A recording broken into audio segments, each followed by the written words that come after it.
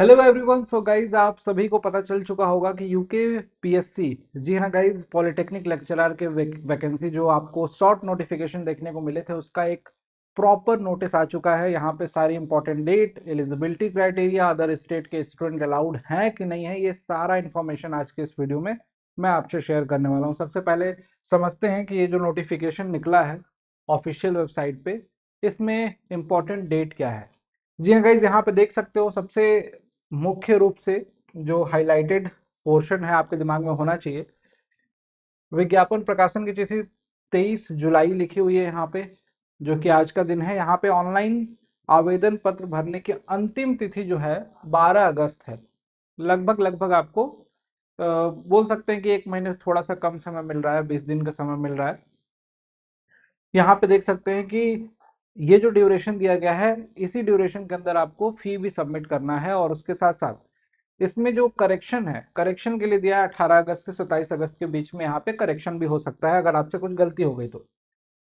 कुछ important point यहाँ पे दिए हुए हैं, अभ्यर्थी यह सुनिश्चित कर ले कि वो ऑनलाइन आवेदन पत्र भरने की अंतिम तिथि अर्थात दिनांक 12 अगस्त 2024 तक विज्ञापन में वर्णित अनिवार्य अर्हता एवं अन्य अर्हताएँ अवश्य धारी करते हो, यानी कि जो भी आपको एजुकेशनल क्वालिफिकेशन इसमें मेंशन है, वो आपका क्रूशियल डेट जो है, वो 12 अगस्त को ही मेजर किया जाएगा मतलब 12 अगस्त से पहले आपके पास वो सारी होनी चाहिए क्वालिफिकेशन।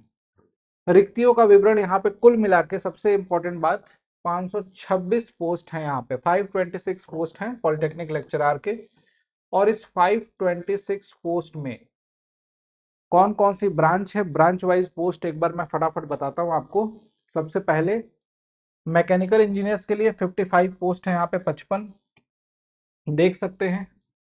और ग्रेड पे देख सकते हो यहाँ पे पाँच हज़ार चार सौ चौवन सौ ग्रेड पे यहाँ पे लगभग लगभग आप ये बोल सकते हो बिल्कुल कायदे से समझते हुए कि सर इस वैकेंसी में ग्रेड पे अच्छा है सैलरी अच्छी है कंपटीशन भी अच्छा होता है, यहाँ पे आपको बहुत कायदे से पढ़ना पड़ेगा। आपको भी पता है कि चौवन सौ ग्रेड पे की जॉब कितनी अहमियत रखती है आपकी लाइफ में। यहाँ पे आगे बढ़े शैक्षिक अर्हता में यहाँ पे लिखा हुआ है कि मैकेनिकल इंजीनियरिंग किया हो आपने और या फिर ऑटोमेशन इंजीनियरिंग, मैकेनिकल के जितने भी सब ब्रांचेज यहाँ पे मेंशन है। बीटेक बीएससी अथवा समकक्ष उपाधि। बी भी अलाउड है बीटेक भी है बीएस और अथवा समकक्ष उपाधि लिखा हुआ है। हिंदी का ज्ञान हो ऐसे अभ्यर्थी को वरिता दी जाएगी जो निम्नलिखित अर्हता धारण करते हो। संबंधित विषय में स्नातकोत्तर उपाधि और गेट क्वालिफाई किया हुआ होना चाहिए। एक वर्ष का औद्योगिक अथवा शैक्षिक अनुभव। आपको कहीं आपको एक्सपीरियंस है शिक्षण क्षेत्र में ही एक्सपीरियंस है तो उन लोगों को थोड़ी सी यहाँ पे प्रेफरेंस मिलेगी, यही मेंशन किया गया है। अधिमानी अर्हता की बात करते हैं, यहाँ पे क्या क्या है?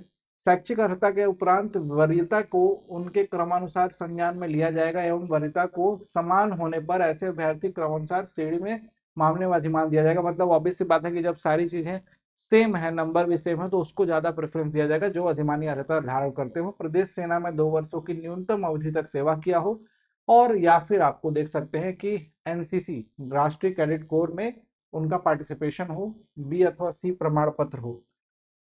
आयु सीमा देखिए, न्यूनतम आयु सीमा 21 वर्ष से अधिकतम 42 वर्ष है, यही सभी में है। यहाँ पे आप इलेक्ट्रिकल इंजीनियरिंग में 57 पोस्ट संतावन पोस्ट यहाँ पे इलेक्ट्रिकल वाले बच्चों के लिए यहाँ पे देखने को मिल रही है 57 और उसका जो है, बाकी क्वालिफिकेशन सेम है, बस आपका बीटेक जो होना चाहिए इलेक्ट्रिकल में होना चाहिए। यहाँ पे देखो सिविल वालों के लिए 103 पोस्ट है, बहुत अच्छी पोस्ट है गाइज़ 103 पोस्ट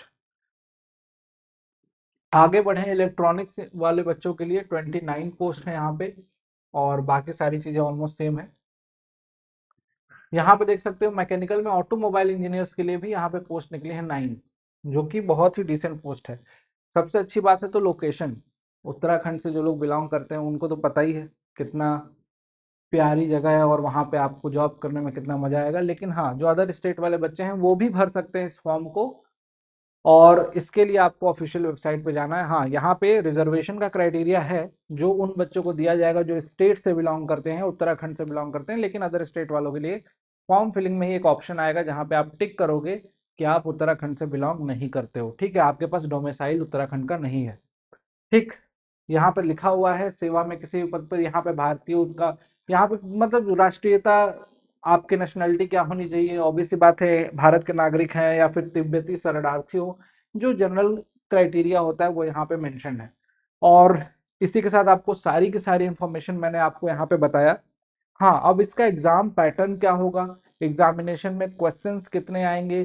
कितने लेवल का एग्जामिनेशन होगा? जैसे कि आप सोचते हैं ना कि सर इंटरव्यू भी है इसमें तो कैसे उसको देना वो सारी सेपरेट वीडियो में हम आपको बताएँगे। इस वीडियो में आपको पूरा ओवरऑल नोटिफिकेशन की इंपॉर्टेंट डेट क्वालिफिकेशन एलिजिबिलिटी और ये सारी तमाम चीज़ें जो नोटिफिकेशन में दी हुई हैं, वो मैंने आपको बता दिया। एग्जामिनेशन के लिए पढ़ना कैसे है कौन कौन से पोर्शन पे फोकस करना है, वो सारी बातें नेक्स्ट वीडियो में करेंगे ताकि ये वीडियो बहुत लंबी ना हो और आपको टू द पॉइंट चीज़ें पता चल सके। Thank you so much I hope आपको अच्छी लगी होगी इन्फॉर्मेशन और किसी भी प्रकार की यूके से रिलेटेड कोई भी इन्फॉर्मेशन चाहिए तो नीचे एक लिंक होगा गूगल फॉर्म का, उसमें आप उस गूगल फॉर्म को भर के सारी अपडेट ले सकते हैं। Thank you so much bye take care